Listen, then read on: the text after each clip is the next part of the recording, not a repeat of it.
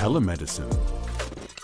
Hi, uh, my name is Michael. Uh, I am part of the Tabib.mt team, um, a leading telehealth platform here, um, here in Malta. And um, today I am joined by uh, Profs Victor Grech and also uh, Dr. Malcolm Falzon. Um, and together we will be discussing um, telemedicine here on the island, um, where it's sprouted out from, where it's come from, and how it is developing at this point in time. Um, so let's start with telemedicine in general, okay? Um, so as we all know, uh, you know, COVID did obviously um, sort of create a new space for telemedicine to be introduced here on the island. However, how long, uh, how, how much do we actually know about it, where it's actually coming from? Um, profs, from a medical point of view, um, have these conversations been happening for a very long time? Or have these conversations only been happening because the awareness just sprouted out from um, COVID itself? Good question. Like they say, necessity is the mother of invention. So even back in the early mid 90s, when the internet came about, we had telemedicine happening in the sense that, for example, people who went to distant places like military, Uh, evacuating wounded soldiers out in the fields in third world countries, people could consult with specialists in highly specialized centers about things they were seeing, trauma to deal with, unusual diseases. So obviously, if you're in the middle of tropical Africa and you find something, something unusual, you can, for example, contact the London School of Tropical Medicine and send pictures for example, and have some expert giving you advice. So it's been around for a long time. But obviously with COVID, um, there's been a huge, huge, huge mushrooming of demand for this because people do not want to go out. And it's one of these things like once you become accustomed to not having to go out of the house unless you absolutely have to, not having to venture out into this ridiculous traffic, and then having to contend with finding a parking space, then I think everyone can see the advantage if one can possibly not avoid, avoid facing COVID, going out in traffic, and having to find a parking space. I think everyone agrees that this is beneficial for everyone.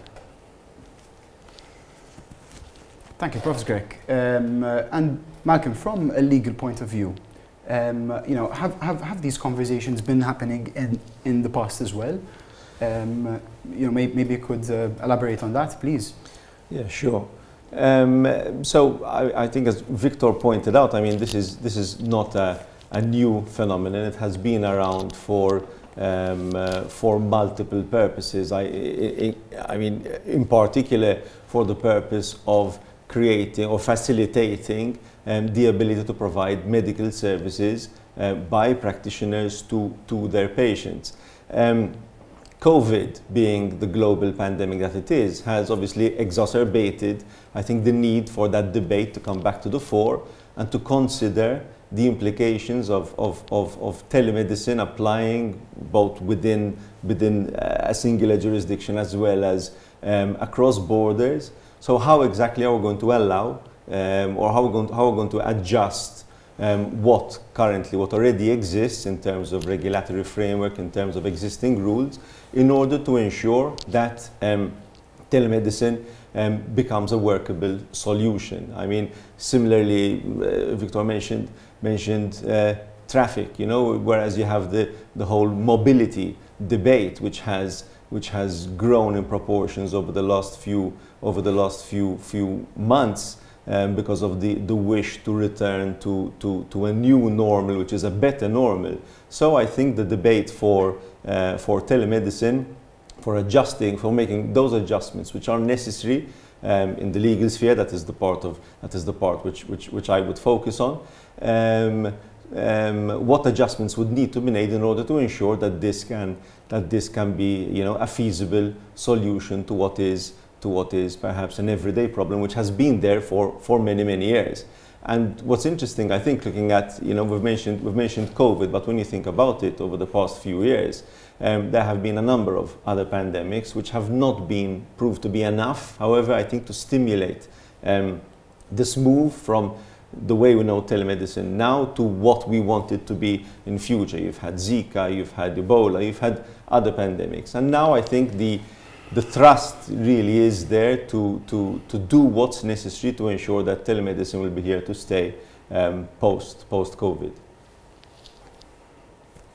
That's something very interesting, actually. Um, uh, and uh, I mean, you, you, you, raised a very um, good point. You know, you, you uh, started to compare um, sort of COVID uh, with, with, uh, with other outbreaks in uh, the past.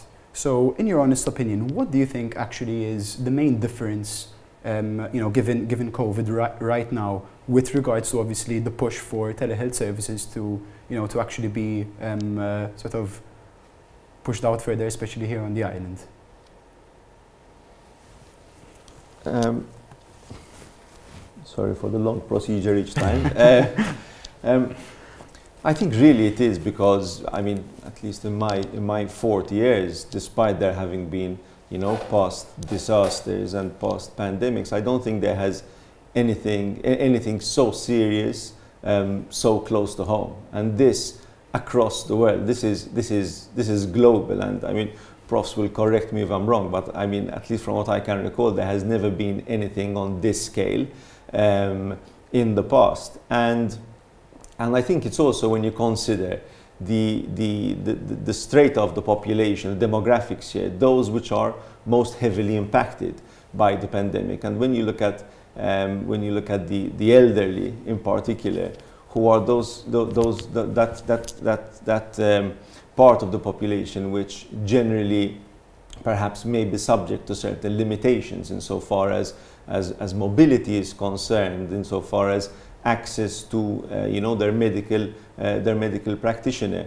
Um, I think that has all had uh, all, that, all of that has had a, a, significant impact. Also, I think the the need to protect our our frontliners, our our medical practitioners, the need to keep them behind a screen as much as possible to ensure that you know given the, the, the acute need for them to remain fit and healthy um, to take us through to take us through this this pandemic. I think that has again uh, differentiated, uh, created, been a, an important differentiator between between past um, uh, mm -hmm. diseases.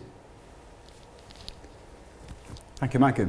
Um, oh, and profs, um, from, from, from a medical point of view now, um, obviously, uh, you know, I mean, why, why hasn't um, telemedicine ever taken off here on the island? Is it, is it mainly uh, sort of um, cultural issue here? Um, you know, is, is, is there, is there the, the fantastic need to actually uh, educate the whole um, culture for, for, for the necessary change to actually happen?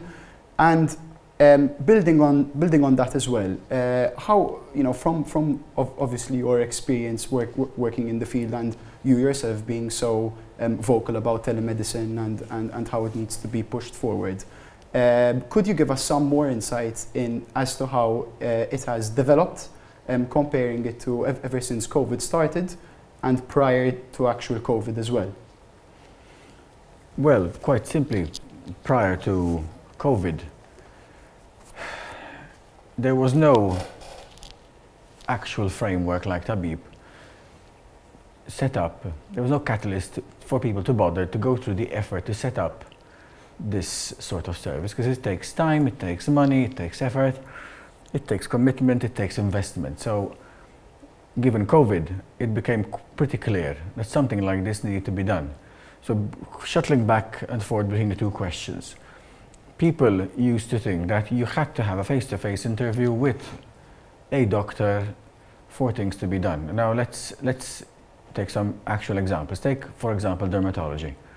In most cases, a dermatology um, consultation, for example, can be done online. Take a psychiatry interview or a psychology interview. Again, although you need to see the visual cues, how the patient is behaving, how the patient is responding, it might actually be simpler online because the patient's face is revealed to you, whereas if the patient is sitting close to you, we have to be wearing this sort of thing so as not to potentially infect each other. So the stimulus was, in recent times, we have not had anything this, this scale. I mean, the last big one, really big one, was the Spanish flu pandemic, which was actually much worse. But back in 1918, there was no internet, so there was no option to have any of this available to us as it is now. Now, I want to be clear here. There are some things where you cannot do it unless you are face to face. But if you have, I'll speak about pediatrics, I've even managed to examine throats because cameras nowadays on mobiles are so good that although I can't be physically there looking down a child's throat, a good picture will suffice. And then some things you ask the parents to do. So you'd be surprised how much you can do with telemedicine, but you can't do everything. And this is where the legal aspect comes in and the medical legal aspect comes in. We have to be aware as doctors, and to some extent the patients as well. I mean, if you've got abdominal pain and it's acute, and you know this could be potentially appendicitis, if you've got chest pain, this could be a heart attack, you go to hospital or you see your doctor face to face, depending on what you have. So there has to be an element of common sense by the patient and an element of wisdom by the doctor. This is not good enough. I need to see you come to hospital, come to clinic, whatever. I hope that answers the question. Uh, Michael, if I, if I may interject on this point, because there's a, yep. there's a very interesting facet um, uh, to this question, which is um, the, the, the, wisdom, or let's call it, you know, common sense, what you get with experience as well as a medical practitioner. I think you will know that for certain things you need to, you need to draw a line. No, it is simply not sufficient for me to look at, at something or interview someone over, over a particular platform for me to be able to take a considered view and therefore the, there is no replacement in that case for the, for the physical interaction with the patient. But I think that the, the beauty of telemedicine is that if, if, if, if through that you can cut off or, or remove, eliminate a lot of the time wastage which goes in which goes in the process of um, uh, getting to a particular point, place in order to carry out this this this this uh, physical inspection let's call it that or visit. Um, uh, uh, if you can if you can create the convenience and the cost efficiency of actually providing the service as well but in a different medium i think then that that further um, that further justifies um, the, use for, the use for the platform. And um, combined with that, I think it's important to mention that uh, yes, we made comparisons with you know with, with 19 with 1918, but even more recently, the reality is that um, the kind of platforms which are available which are available nowadays, the kind of technology, uh, the ability potentially to regulate this technology is there, um, uh, whereas it was not there, whereas it was not there in the past. There, uh, from a legal perspective, there are still significant hurdles that we need to go through, and perhaps can delve into them uh, in, in, a bit more detail later. But, um, but I think we are definitely placed now. We are in the right place at the right time to take this to the proverbial next next level. Mm -hmm. Thank you very much for that. Um, uh, it was obviously very interesting, and and uh, and uh, yes, profs, I can I can uh, I can definitely vouch, um, you know, for, for, for what you're actually saying, because obviously, uh, you know, within within the past months, I have I have been um, having a lot of uh, discussions with with numerous of people, you know, who who who would be stakeholders in in the in the sort of telemedicine um, front, and and yes for example, one of one of the uh, main questions that you know that uh, that I am asked from uh, that I am asked about, you know, from, from coming from a very hesitant um, place, is uh, is from HR managers, for example, um, you know, saying saying you know they're they're a bit reluctant to actually believe that uh, you know that sort of te telemedicine can can prove to be um, useful for their employees, for example, in the sense that employees might um, feel it that it is easier to sort of um, you know fake sick sometimes. You know what I mean? Because uh, because then they you know then they might um, actually think that you know that because I'm behind the screen, then you know then the sort of doctor that I'm that I'm speaking to wouldn't you know wouldn't really uh, catch me out in a way. You know what I mean? Um, uh, as in from, from again from your experience, um, how, how, how can you uh, you know rest assured these these sort of HR managers that listen, although it's behind the screen, um, there are many many different ways of of how you can tell that that a person is sick, for example.